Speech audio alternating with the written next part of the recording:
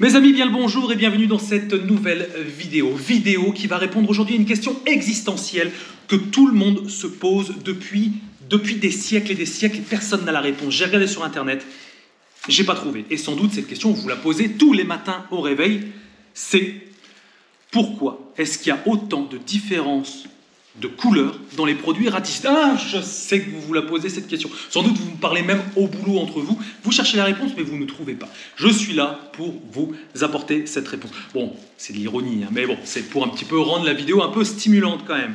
Euh, alors, ce qu'on constate au niveau des produits ratistes, c'est que très rapidement, on voit des différences de couleurs. On a du bleu, du rouge, du vert, du, tout ce que tu veux, du, du, fluo, du pastel, il y a vraiment un petit peu de tout. Bon, les couleurs prédominantes sont quand même le bleu, le rouge, bien évidemment le rouge historiquement, hein, qui symbolise le danger, le rouge, euh, et l'interdiction, euh, et également un peu de rose, de vert, etc.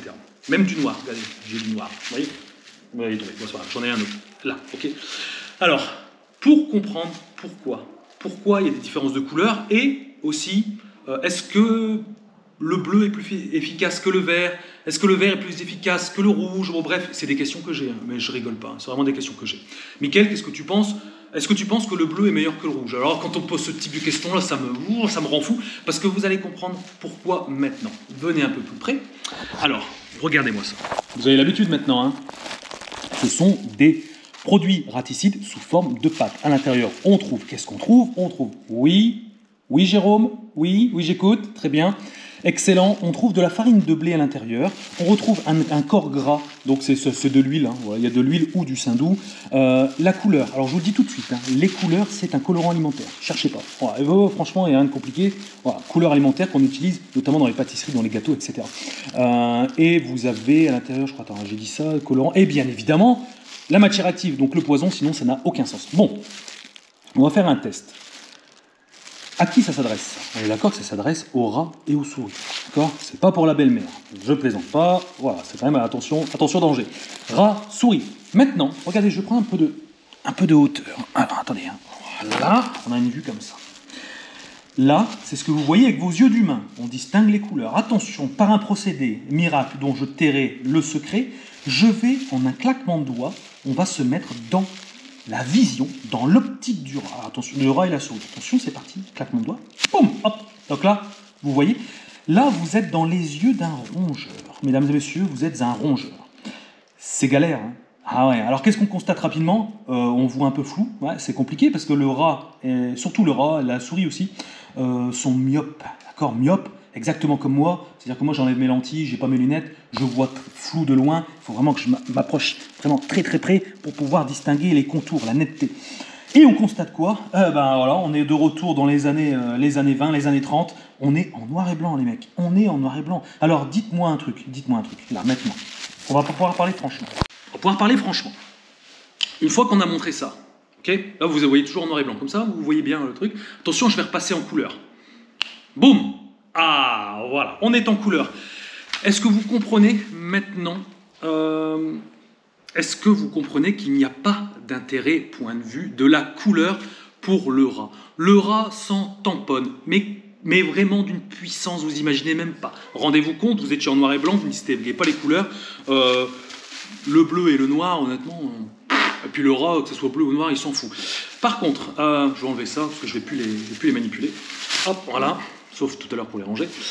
Euh, alors pourquoi? Pourquoi il y a des différences de couleurs comme ça? Ce qu'il faut savoir, c'est que historiquement, on mettait une couleur, notamment le rouge, parce que le rouge, c'était euh, synonyme de danger. D'accord? Quand vous avez le blé nature, on va l'appeler le blé nature, le blé normal, il y a un peu couleur orangée, un peu jaune.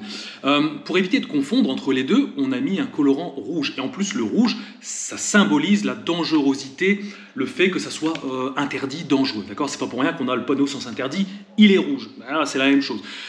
Ça a dévié un peu dans d'autres couleurs, voilà, un peu de fantaisie, euh, notamment pour, euh, pour certains fabricants pouvoir se démarquer, parce qu'on a bien vu que le particulier, lui, quand il va essayer un produit, il essaye un produit raticide, il voit que ça marche, il va se dire, le bleu là, celui que j'ai mis là, le bleu, il va aller voir son voisin, et euh, Thierry, viens voir, le bleu, le bleu, je te jure que le bleu il marche bien s'en fout du bleu, c'est ce qu'il y a dedans, bordel, c'est la composition qui va nous intéresser. L'efficacité est due à la composition. La composition, c'est quoi? Qu'est-ce qu'un bon produit raticide? Très simple. Bon produit raticide, il doit faire deux choses. Il doit, premièrement, attirer le rongeur. Parce que s'il ne l'attire pas, c'est très compliqué. Donc à l'intérieur, il doit avoir des ingrédients qui vont l'attirer et l'inciter à consommer le produit. Si vous avez un produit le plus puissant du monde, mais il n'est pas du tout appétant, le rongeur passe à côté, il ne mange pas, résultat, zéro, la tête à Toto, vous aurez absolument rien. Premièrement, il doit attirer, le rongeur doit apprécier le consommer. Voilà. Euh, maintenant, le deuxième point, c'est qu'il faut qu'il soit correctement dosé. Alors à l'intérieur, on retrouve brièvement, hein, je vous fais vite le truc, euh, un anticoagulant, donc anticoagulant euh, brodifacum, bromadiolone, difenacum, etc. Bon, les professionnels connaissent. Bon, c'est pas tellement le plus important. Le plus important, c'est ce qui va être à l'intérieur, notamment le dosage, soit exprimé en pourcentage, soit en ppm c'est la même chose. Voilà, donc retenez 0,0025% pour euh, du bromadiolone.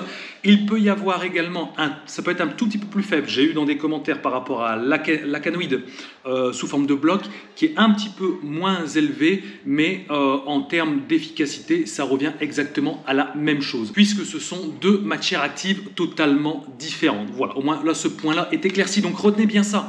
Regardez quand vous achetez un produit raticide, la couleur, on s'en tamponne complètement. Regardez pas la couleur, regardez la composition, vous regardez si c'est du bromadiolone, brodifacum, etc. Et vous regardez un petit peu la, la, dose, ce qu'on appelle la, dose létale, qui est à l'intérieur des euh, produits raticides. Petite chose également pour l'alpha-chloralose, ça c'est encore un autre nom de poison, on va l'appeler comme ça, un nom de poison. Il y a les anticoagulants qui jouent sur le sang et l'alpha-chloralose, ça joue sur le système nerveux, mais ça c'est efficace uniquement sur la souris, d'accord? Voilà, on le retrouve notamment dans euh, les souricides foudroyants de la marque Black Pearl. Donc voilà pour cette petite vidéo, j'espère en tout cas que j'ai répondu à cette question euh, que des millions, des milliers, des milliards d'humains se posent chaque jour. Pourquoi il y a différentes couleurs dans les produits raticides Maintenant, vous avez la réponse, vous allez pouvoir crâner dans les cours de récré, vous allez pouvoir flamber à la machine à café au boulot. Voilà, allez-y, c'est cadeau, mais au moins je suis content parce que finalement, c'est une question toute bête, mais qu'on me pose régulièrement et il n'y avait pas de réponse à cette question sur Internet. Je la porte, ça me fait plaisir. N'hésitez pas à me mettre des commentaires si vous le désirez. Si vous êtes à la recherche de produits raticides efficaces ou même des pièges, etc., je vais vous mettre un petit onglet ici ou alors vous allez dans la description, vous avez un petit peu de tout, les produits notamment qui sont là et que j'utilise régulièrement dans les autres vidéos sur le terrain. Je vous dis à très bientôt Allez, à plus, et n'hésite pas à t'abonner, c'est vrai que je ne le rappelle pas, mais clique ici, voilà, ça me fera toujours plaisir. Je verrai la vie davantage en couleur. Oh, putain, trop fort. Allez, à plus tout le monde, ciao